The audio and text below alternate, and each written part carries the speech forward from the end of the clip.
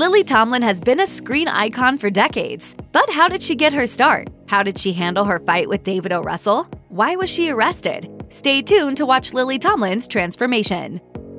Lily Tomlin was born on September 1, 1939, in Detroit, Michigan, and her name at birth was Mary Jean Tomlin. Tomlin's parents relocated to Michigan before she was born, and Tomlin has since gone on to tell M Live that she wouldn't trade her childhood for anything. She told the publication that her old stomping grounds were an ideal place to grow up, describing her former neighborhood as, quote, filled with people, a soup of humanity. Though she didn't grow up wealthy, Tomlin said her experiences with people in her hometown exposed her to people in wealthier neighborhoods. She noted to M Live, I was always conscious politically that there were people who had everything and who had nothing, but I was so madly in love with people and how they behaved, I went there anyway. In fact, Tomlin still makes trips to Detroit every so often, and even has family members who still live in the area as of 2014 when the interview was published. For those who have followed Lily Tomlin's career, it's nearly impossible to imagine her doing anything besides acting and comedy. However, as she told the Chicago Reader, Tomlin actually entered college intending to study medicine, though she actually enrolled in the pre nursing program at Wayne State University instead, explaining, I was never going to be a doctor. I wasn't a good enough student. While in college, according to biography, Tomlin discovered her love for theater and left school to pursue acting instead. Her path to comedic success wasn't a straight shot, though. She told Interview that, like many performers, she worked a string of jobs related to the field before making it. Those jobs included performing on local TV shows, waitressing at Howard Johnson's, and even working as a bookkeeper.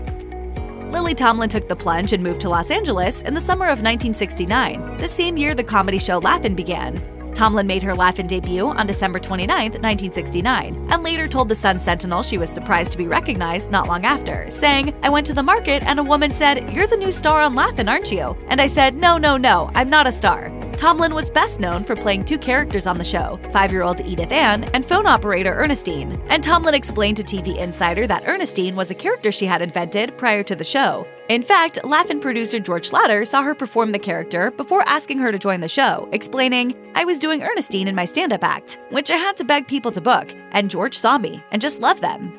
This is Miss Tomlin of the telephone company. Do I have the party to whom I am speaking? Tomlin added that the two characters were so popular, in fact, that she continues to perform them both during stand up routines. As Tomlin explained to TV Insider, it's the least she can do, since the show changed her career, saying, It was the best thing that ever happened to me, absolutely. I was terribly fortunate to fall into that show at the time.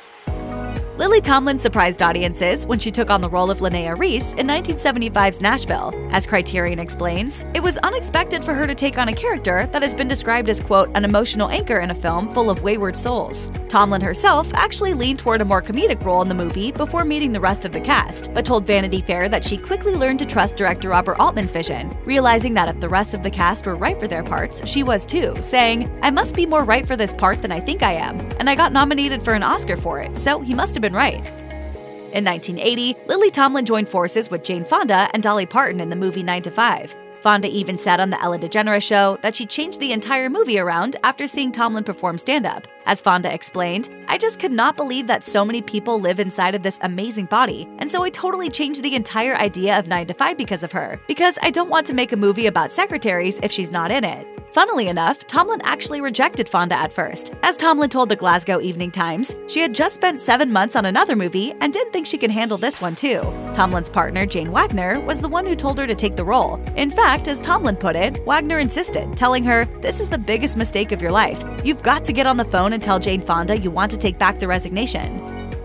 Lily Tomlin and Jane Wagner seem to have the kind of relationship that many people aspire to, though their partnership began as a professional one. The two were first introduced in the 1970s and have been together for over 50 years. Both are exceedingly talented. Prevention notes that Wagner is a successful writer, director, and producer. Tomlin told Metro Weekly that she approached Wagner first, hoping that the two could work together on Tomlin's upcoming comedy project. Wagner didn't get back to her right away, and Tomlin was surprised when she received word from Wagner a week before she was set to record the comedy album. She explained, I persuaded her to come to California and help me produce it. Frankly, I was pretty taken with her as soon as I saw her.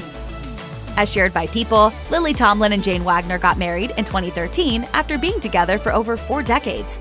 After it was possible to get married, I had no recourse but uh, to get married.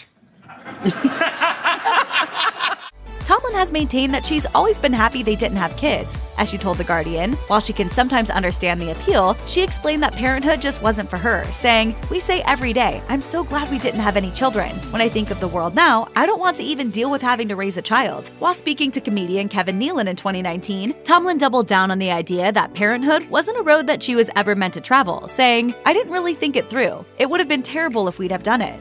When Lily Tomlin joined the cast of 2004's I Heart Huckabees, she probably didn't realize that the experience would result in an on-set explosion that would reverberate throughout Hollywood for years to come. Fans were shocked when a video surfaced that appeared to show Tomlin enduring verbal abuse on set from the film's director, David O. Russell. While the video was heated, it seemed that Tomlin and Russell were able to make up. Tomlin later told Movie Line that the experience actually wasn't a big deal and likened their argument to one that many people have at home, revealing that they got right back to filming around 20 minutes after the infamous video was shot, saying, We were always doing something, and then we'd get manic and crazy, and I just flipped out on him. Then he flipped out on me, and you know, stuff goes on. But it's nothing. It's like family.